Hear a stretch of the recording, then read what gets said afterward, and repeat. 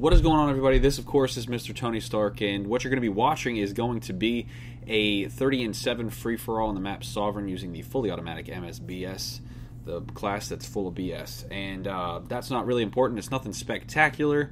What I really want to do is talk about a specific topic, and um, I haven't done a topical commentary in a while, so you're going to have to bear with me. It's not something that's going to be um, necessarily fun or you know easy for me to talk about as far as that goes. For the simple fact that uh, I like to deal with serious issues, but I don't like to sound like I'm complaining. And uh, this one is going to be borderline. So if you're offended and you don't really want to listen, I understand.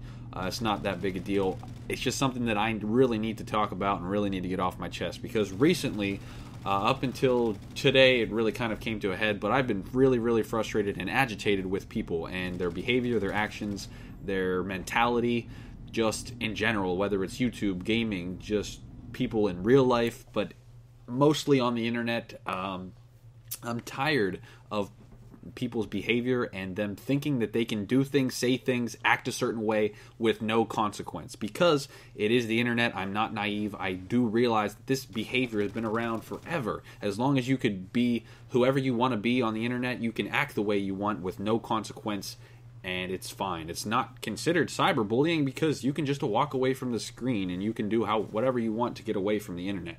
And that's all well and good, but that does not make it okay for you to act like an idiot. It does not make it okay for certain people to think that they can get away with whatever they want to say and do with no consequence because ultimately there is consequences. And all over Twitter, all over social media, gaming, YouTube, everything that I'm immersely involved in uh, immensely involved in. I mean, with just because my hobby is that is YouTube and gaming and and I'm just connected to the internet. Just because I'm in there doesn't mean I have to put up with it. Doesn't mean that I have to sit by and watch people act a certain way and never be told otherwise.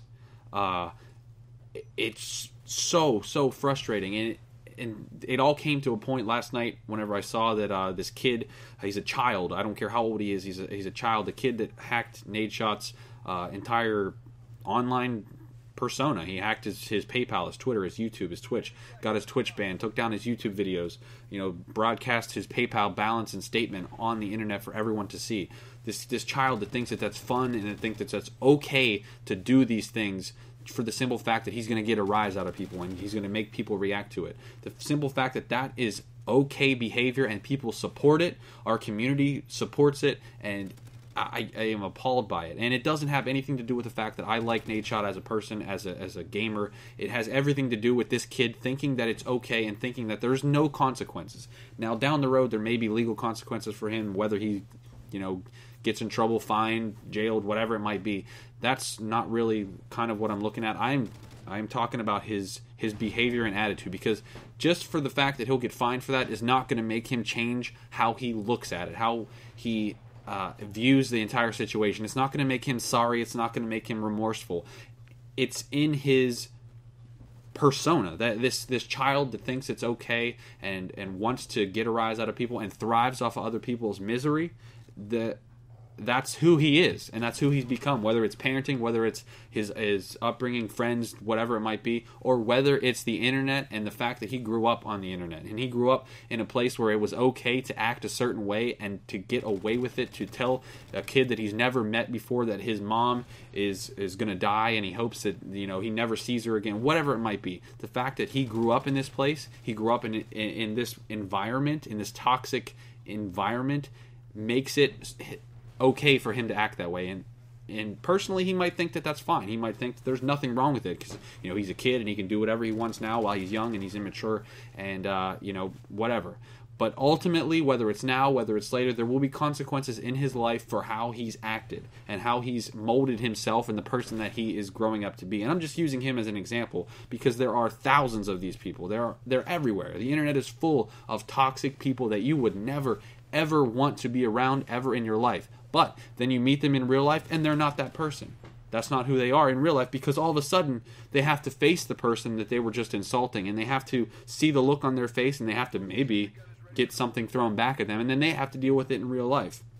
Now don't take this as me saying that everyone everyone has this this mentality because there are plenty of good people and good uh, good-hearted people that I've met on the internet that I am now friends with that I would consider close friends. But the internet as a place and as a community is a terrible place to have anything, to have a community, to have your family, your kids. It's a terrible place for people to post their opinions and to post everything. And you're like, wow, you're a hypocrite because you're doing the same thing. You're posting your opinion. Yes, I am. But in all reality, me posting my my opinion and saying, you know, I, I, see this kind of behavior and doing that is not me going out and attacking somebody and saying, uh, you, you know, you're you're a terrible person. I hope your mom dies. I hope that your you know your family gets cancer. What whatever whatever it might be. I'm sick of people not having any consequences for their for their behavior. You know, if uh, if I thought it was okay for people to hack other people and to to do whatever they wanted, then yeah, maybe I would need I would need uh, called out on or what, whatever. It doesn't matter. I'm getting off topic. The whole point is is that I needed to remind everyone, maybe just remind myself that there are consequences to your actions, no matter whether you think so or not, no matter whether it's now, it's later. Uh, the choices that you make and the, the, the people that you choose to make miserable along with yourself, um, it, it all comes back around. What goes around comes around, as they say, and it's and it's true. Whether it's now or later, you'll eventually realize that. And you'll eventually realize what a waste of time it is trying to make other people miserable. If that's your entire goal in life is to make other people miserable and you thrive off of that, shame on you. I don't really have anything else to say other than that. I, I just had, like I said, had to get off my get it off my chest. And if you stuck around this long, I appreciate it. Um, you know, I, I do enjoy interaction with the people that you know watch my channel. So uh, that's all I really have time for, guys. I'd love to hear some comments in the comment section below. But I'm out. Peace.